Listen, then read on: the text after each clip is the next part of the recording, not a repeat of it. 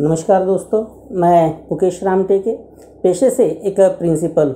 आज जो ज्वलंत विषय चल रहा है, कोरोना, जिस कोरोना ने पूरी दुनिया को खिला के रख दिया है इटली, अमेरिका, फ्रांस, इंग्लैंड जैसे देशों को भी डरा चुका है। पूरी दुनिया इस कहर से सहम चुकी है और उसी कोरोना ने हमारे भारत में भी कदम रखा है। कई न्यूज़ चैनल्स यहाँ, वहाँ कोरोना ही कोरोना की न्यूज़ चल रही है, जो ये, वो न्यूज़ बताते हैं। लेकिन आज मैं एक प्रिंसिपल होने के नाते स्पेशल स्कूली बच्चों के लिए एक छोटा सा संदेश लाया हूँ कि आज गवर्नमेंट ने जो सारी परीक्षाएँ रद्द कर दी है, अभी परीक्षाएँ रद्द कर दी है, इसका मतलब बच्चे खेलेंगे, कूदेंगे। जी हाँ खेलेंगे, कूदेंगे, लेकिन इसके साथ ही आप लोगों को बहुत कुछ बातें सीखनी है। परीक्षाएँ रद्द हो गई, इसका मतलब ये नहीं है कि हमें पढ़ना नहीं है। पढ़ना है, लेकिन अलग तरीके से पढ़ना है। इसका किस तरीके से पढ़ना है, यह बात मैं आप लोगों का समझाने वाला हूँ। जैसे छोटे बच्चे रहते हैं, प्राइमरी, प्री प्राइमरी के बच्चे, ये अपनी कलाओं को, अपने गुणों को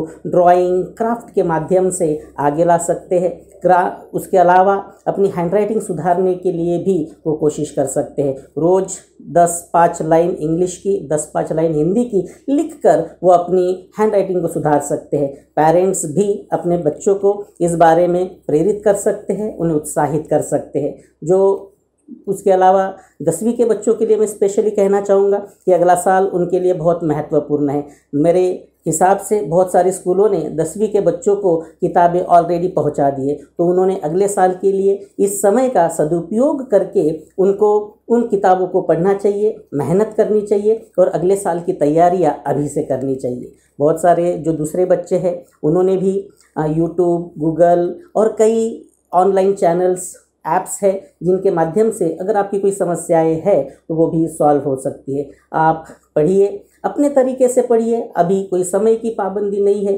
किसी टीचर की डांट पढ़ने का कोई ये नहीं। अपने मन से पढ़िए, जितना अच्छे से पढ़ सकते हैं, उतना आप पढ़िए। और एक बात ध्यान रखिए, गवर्नमेंट ने जो नियम बनाए हैं, उनका पालन करिए, घर में रहिए, सुरक्षित रहिए। धन्यवाद।